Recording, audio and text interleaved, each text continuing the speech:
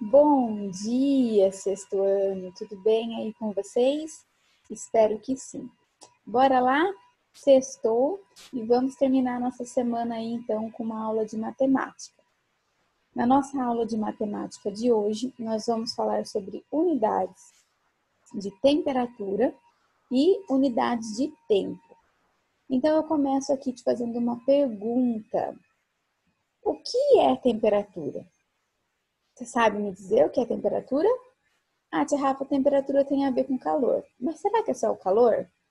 Como é que nós sabemos essa temperatura? Lá na unidade de comprimentos, nós sabemos que nós utilizamos a régua, né?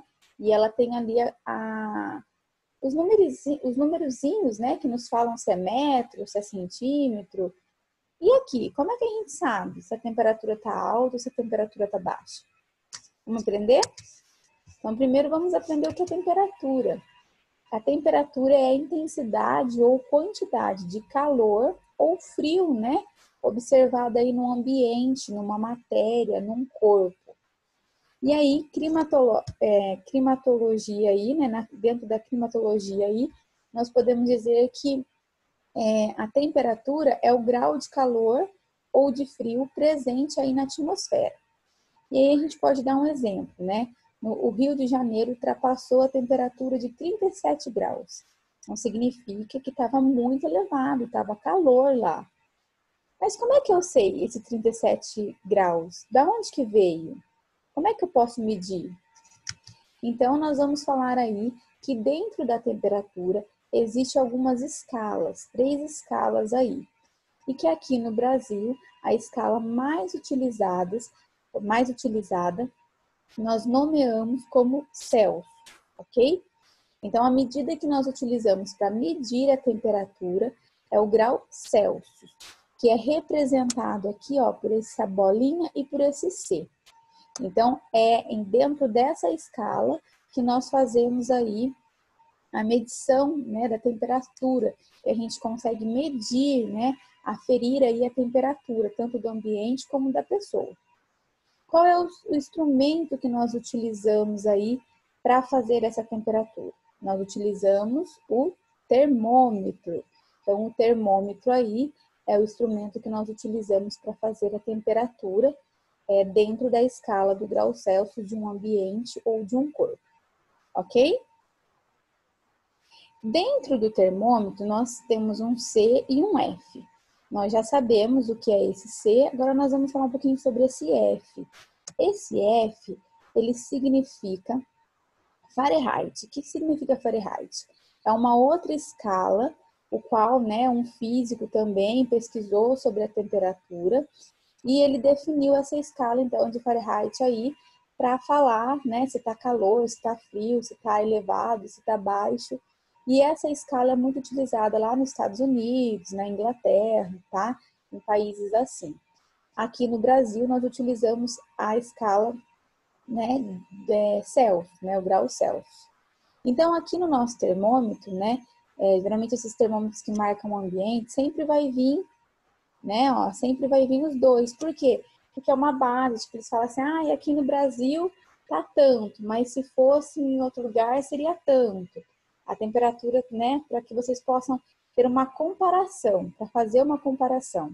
Então, a gente pode ver aqui, ó, que na escala de Fahrenheit, o zero começa aqui embaixo. Aqui no Celsius, olha onde fica o nosso zero. Aonde está 40 aqui, pra gente é zero. Então, olha aqui como que muda, tá vendo? O nosso aqui, a nossa temperatura de 10 graus Celsius. Aqui já tá 60.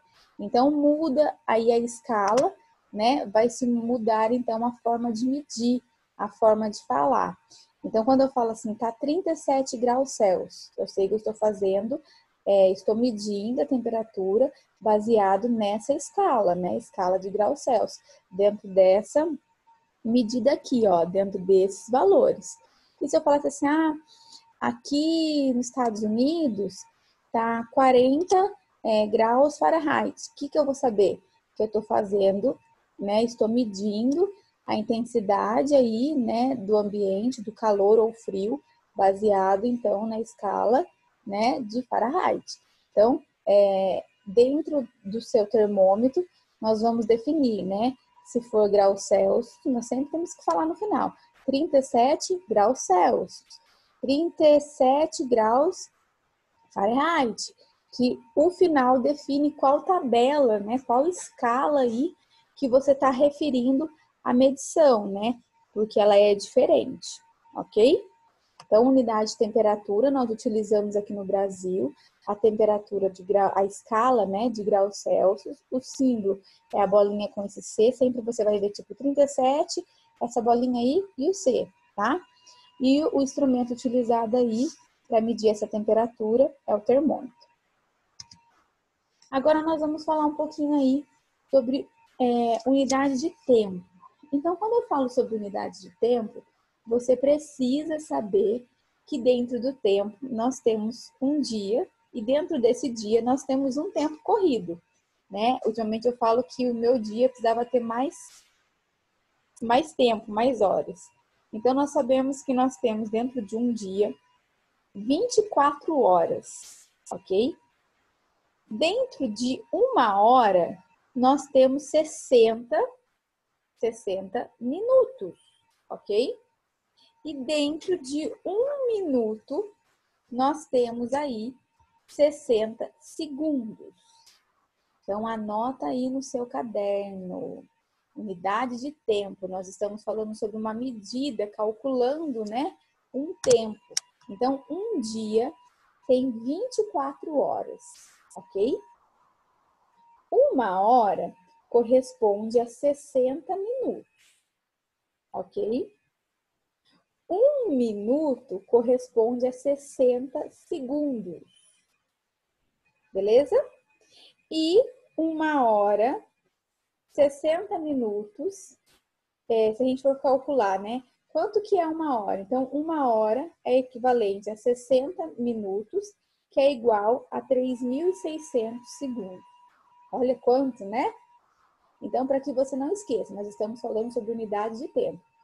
Um dia tem 24 horas, uma hora tem 60 minutos, um minuto tem 60 segundos.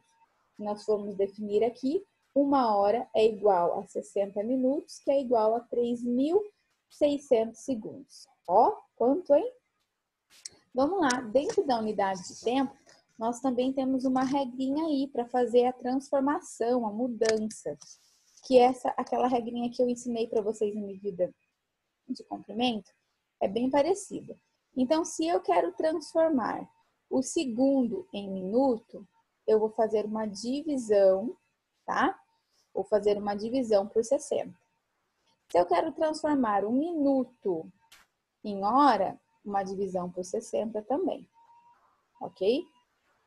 Se eu quero transformar a hora em minuto, multiplicação por quem? Por 60. Se eu vou transformar o minuto em segundo, multiplicação aí por 60. Mas e se eu quiser transformar, tia Rafa, os segundos em hora? Como é que eu faço? Como é que eu vou fazer? Nós vamos fazer uma divisão. Eu já vou explicar rapidinho para vocês. Eu vou abrir a tela para mostrar, tá? E a mesma coisa, se eu quiser transformar a hora em segundos, né? Se não for direto no minuto, eu quero transformar da hora em segundos. Uma multiplicação por quem? Ó, 3.600. Então, vamos lá. Deixa aí, eu, eu vou tirar aqui, depois eu volto, tá? Eu coloquei um exemplo aqui na folha para ficar mais fácil para explicar. Então, imagina que eu falo para você assim, que eu tenho 9.650 segundos. Vou colocar aqui na folha. E eu falo para você assim, ó. Eu quero saber quanto é 9.650 segundos. O que, que eu vou fazer? Eu vou pegar esse 9.650 segundos e vou dividir por 3.600. Nós não falamos que uma hora, uma hora, né? Uma hora é igual a quê? A 60 minutos. E 60 e uma hora é igual a 60 minutos, que é igual a 3.600 segundos. Então, se eu quero saber quantos segundos, né, é, vai ser, né, 9.650 é, segundos, em quantas horas e minutos vai ser, eu tenho que fazer, então, a divisão por 3.600. Então, eu cato lá 9.650 e divido por 3.600. Aqui, gente, vai sobrar resto. Quando sobra resto, eu não vou colocar o zero, vou colocar a vírgula do jeito que a gente está acostumado. A conta vai parar, tá? Então, você viu aqui, ó, 9.650, eu dividi por 2, que deu 7.200, e aí sobrou um resto aqui de quê? De 2.450. 2.450 é menor, né, de que 3.600, então não dá para continuar. Então, simplesmente eu paro. Eu não vou colocar zero, eu não vou colocar nada, simplesmente paro. E aqui, então, a primeira conta, eu consigo definir a minha hora. O que ficou aqui no meu quociente da primeira conta é a minha hora, ok? Vou pegar esse resto aqui que sobrou, ó. Vou pegar esse resto aqui que sobrou e vou dividi-lo novamente para saber os segundos e o minuto. E eu sei que, né, é, para eu ter um minuto, eu tenho 60 segundos. Então, agora eu vou dividir por 60. Então, catei lá 2.450, dividir por quem? Por 60. Então, eu já posso fazer direto aqui, ó. 24, 2 não dá, 24 também não dá. Então, eu junto três números e vai dar 245. Vou na tabuada do 60 e vejo que o que mais se aproxima é o 240. Coloco lá. Resolvo a conta. Tem um zero para descer. Desci o zero, vai sobrar 50 de resto. Como eu desci esse zero, eu vou ter que jogar ele lá no meu quociente. Por que, que eu tenho que jogar ele lá? Porque ele faz parte da conta, então por isso que eu tenho que continuar. Mas paro a conta aqui. E aí aqui eu vou definir o meu minuto e o meu segundo.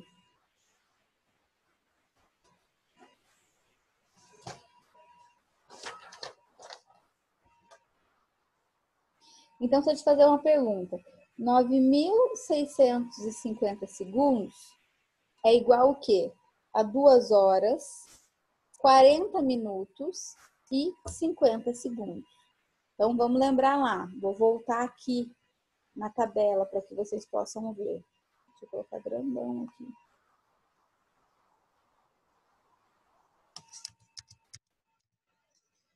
Ó, voltei aqui.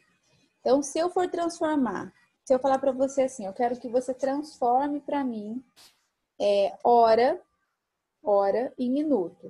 O que você vai pegar? Você vai pegar esse valor, vai pegar esse valor e vai multiplicar ele por quem? Por 60, ok? Simples assim. Então, imagina que eu falo para você assim, eu tenho duas, eu tenho duas horas, ok? Eu tenho duas horas. E eu quero que você pegue essas duas horas. Deixa eu colocar aqui, ó. Eu tenho duas horas.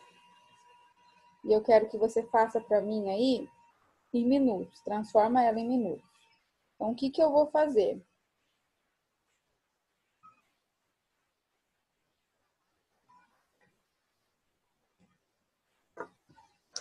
Uma multiplicação.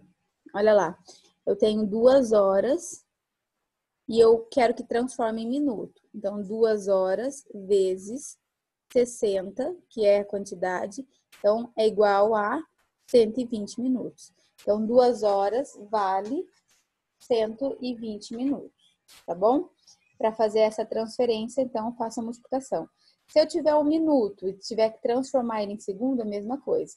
Ah, eu tenho dois minutos e quero transformar ele em segundos, o que, que eu faço? Eu vou pegar o 2, vou multiplicar de novo por 60, e lembrando que você sempre tem que colocar o final. Eu vou ter, então, 120 segundos, ok? E aí, nesse passo a passo que eu expliquei aqui para vocês, é quando eu vou fazer uma transformação grande, né? Ó, eu tinha 9.650, tá? Em vez de eu transformar em minuto, tá vendo? Em vez de eu vir aqui, ó, em minuto, o que eu fiz? Eu fui lá para hora. Então, quando eu vou fazer por hora, olha lá, ó, a divisão tem que ser por 3.600. Aí eu faço a divisão, não preciso é, ficar colocando vírgula, nada. Ela parou num resto que é menor ali que do meu divisor, parou, parou. O que vinha aqui no consciente aqui da primeira divisão vai ser a minha hora, continua a conta. Na próxima continuação da conta, eu vou estar transformando o quê?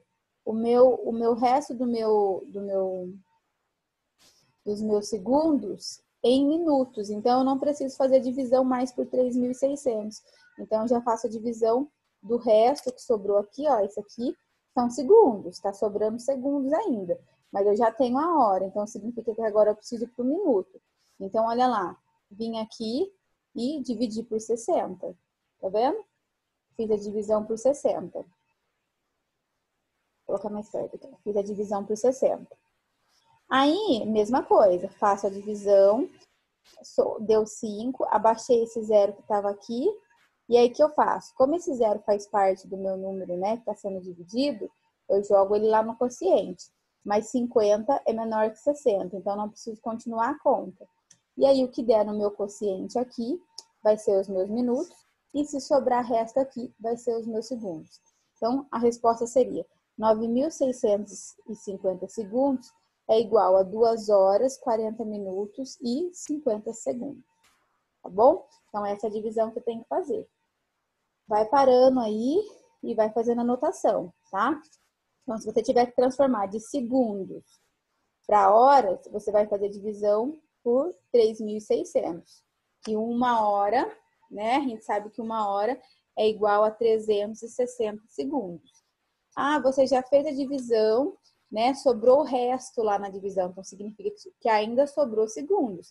Mas se você já fez a divisão por 3.600, você já conseguiu pegar a hora. Então, o que, que você vai ter que descobrir o próximo? Um minuto. Então, aí você pega aquele resto, divide por 60. E aí, o que der no quociente é o seu minuto, e se sobrar resto, é ainda continua sendo o seu segundo. Ok? Vamos lá, exercícios. Página 236. Ok? Exercício 1, 4 e 5.